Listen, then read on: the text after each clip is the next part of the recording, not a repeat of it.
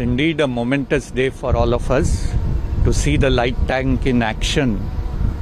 It makes me very happy and proud. It's indeed an example where DRDO and industry, if it works together, what we can achieve.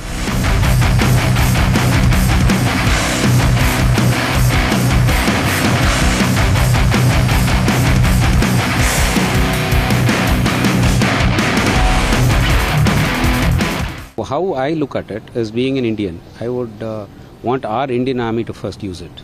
And thereafter, the other industries, other countries will definitely come and take it. Because our own country is using it, so definitely they'll come. It. This has got a very good export potential.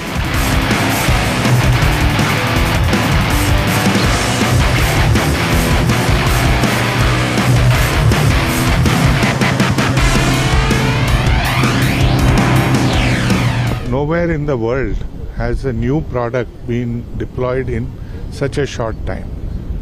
So it's a wonderful achievement for both DRDO and L&T.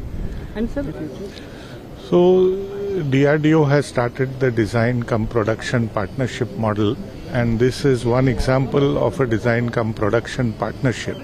We will see many much many more such uh, partnerships.